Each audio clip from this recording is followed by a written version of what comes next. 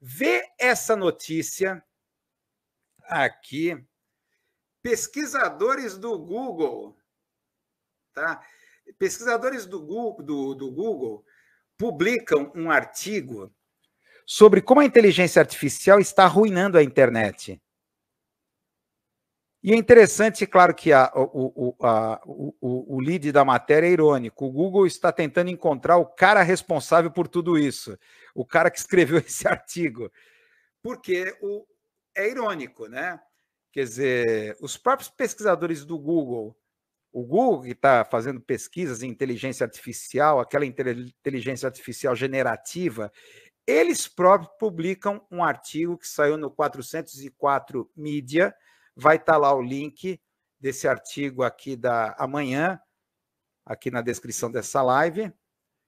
Uh, então, ele fala como a maioria dos usuários de inteligência artificial generativa está aproveitando a tecnologia para desfocar as linhas entre autenticidade e engano, postando con conteúdo de IA falso, adulterado e etc. Uh, ah, então, conclui aqui é, que a inteligência artificial hoje exige experiência técnica mínima. Está muito fácil manipular isso. Então, que coloca o seguinte, que a situação está, essa situação atualmente está distorcendo a compreensão coletiva das pessoas da realidade sociopolítica ou do consenso científico. Então, o, o, o, a, a, o artigo aqui fala a respeito de imagens, produção de conteúdo que é feita por inteligência artificial, em que, de repente, as fronteiras entre a realidade e a mentira ou fake news, você pode falar, desaparece. Como conclui aqui o, o texto, né?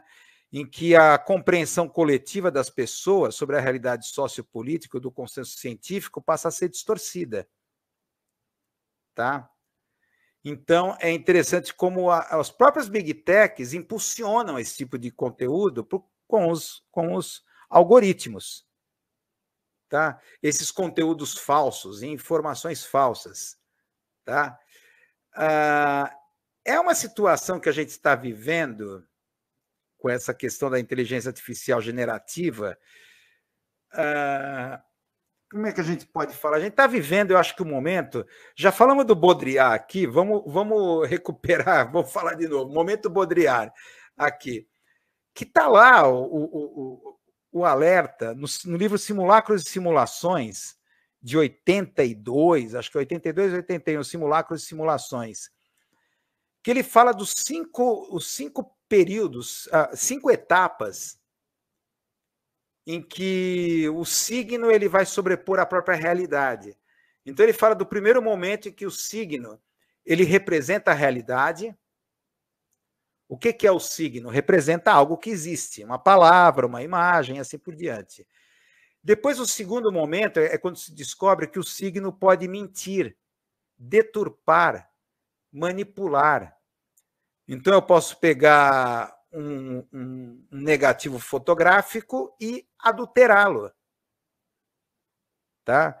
Então eu posso, através da, das palavras, mentir.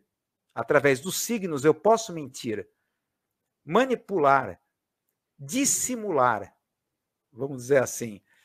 Uh, depois vem o terceiro momento que ele fala, são, são, são quatro momentos, né? Vem o terceiro momento.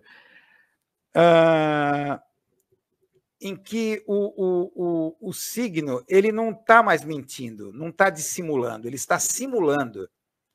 É o momento em que o signo ele é capaz de criar a própria realidade. Tá? Então, vamos dizer assim, é o momento em que o, o vamos assim, o, a diferença entre o dinheiro falso e o dinheiro verdadeiro desaparece na especulação financeira. Esse é o terceiro momento o momento da simulação, que supera a dissimulação. Na dissimulação, você ainda tem a noção do que é o dinheiro, o dinheiro falso e o dinheiro verdadeiro. Tá? Enquanto na especulação financeira já estão vivendo no mundo da simulação.